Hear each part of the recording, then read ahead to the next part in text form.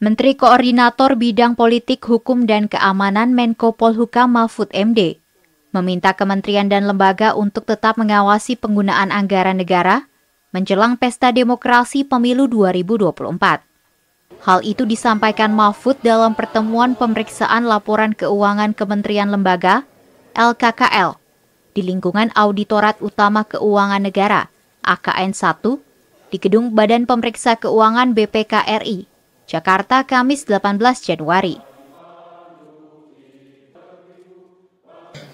Saya saya berpesan agar masing-masing kementerian lembaga tetap benar-benar mengawasi penggunaan anggaran sesuai dengan perencanaannya dan menghindari jangan sampai terjadi penyimpangan anggaran untuk kepentingan politik memperjuangkan calon-calon pimpinan nasional maupun calon-calon anggota legislatif.